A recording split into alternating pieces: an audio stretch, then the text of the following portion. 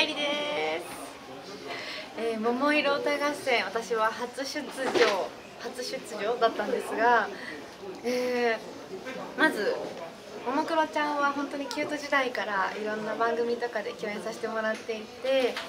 そのももクロちゃんたちと過ごせるだけでも嬉しいのにもかな子はあの高校の同級生でもあるのでまた違った角度で温かさがすごくあってとても最高な、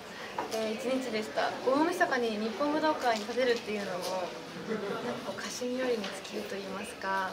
とても気持ちよく空の曲も歌わせていただいたしツインテールもセーラームーンのコーナーでしたし あの制服もあの着たくて着てるというかその曲で着てるんですよ。学園天国っていう曲をあのリアル同級生の5人でやらせていただいてとてもとても胸熱というかタイムスリップした感じがして貴重な大晦日になりました。ありがとうございました。2022年は私個人的には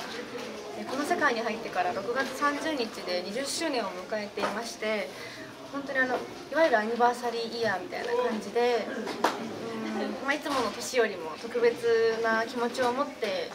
こう愛を届けたいなっていう気持ちで音楽活動もしていたんですけど上半期はあの ABEMA さんの連続ドラマ「アニマルズ」で初主演を務めさせてもらったりもして本当にたくさん上半期は女優業下半期は音楽活動っていうすごくあの貴重ななんかこう珍しい1年を過ごさせてもらいました。ありがとうございました。で2023年ですけど2023年はまあでも6月30日までまだ20周年イヤーが続くのであのできる限りの伝えられる愛を伝えながら個人的には29歳、20代ラストの年になるので、えー、シミシワ毛穴対策をしっかりとして、えー、楽しい20代ラストにしたいなと思っております。まだまだたくさん歌が歌いたいなって思っております。よろしくお願いします。ということで以上鈴木愛理でした。